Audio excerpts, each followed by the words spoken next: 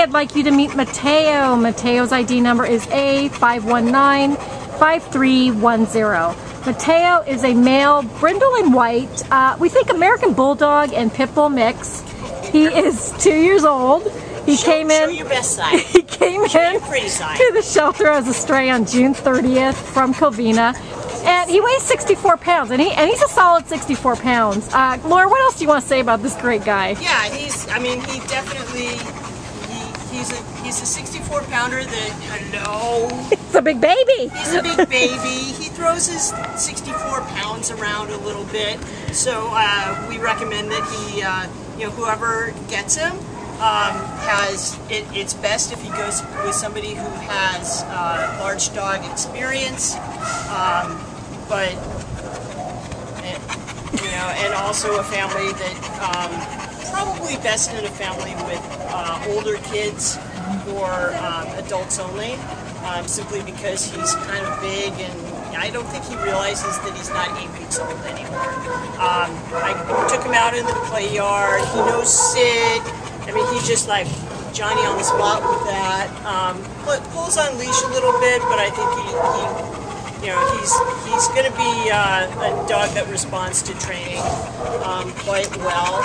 He was improving even even in the short time that I had him out. Yeah, I mean he's only two years old, so he's only- he's a young yeah, guy. He's only two years old, and like Yeah. I was saying to you before we started rolling the camera, I think you know, in the in the equivalency of in humans, I think he's kind of like, uh, you know, he he's gonna well to back it up, he's. I think what he's really needs is um, boundaries and structure and training and socialization. You get those four things going on, you're going to have an awesome dog here. Um, but he does need, you know, he, he is going to need that stuff. I don't think that he had a whole lot of, uh, of boundaries or anything in his previous life. He's, he's a good boy, but I don't think that he ever got taught the rules of, you know, what it is to, you know, what it is to be a good boy in, in a family. So uh, that said, come on down to meet this guy. He's he's. I mean, He's- he's, he- he's he- big love. If people put the time in and It's give him yeah. the training, this is going to be a fabulous dog. I mean, Yeah. he really is. I mean, he's he's been very cooperative with Lore. Lore's been working with him at the shelter. So, you know, please come down and meet him. This is Mateo, ID number A five one nine five three one zero. One more thing that I, I forgot to mention earlier is I we you know I, I would really recommend group training for this dog. I think that this is going that would be a very key thing for a successful integration with your family because not only are you going to get the obedience training in, the group socialization is going to give him that additional socialization socialization with other animals, with other dogs.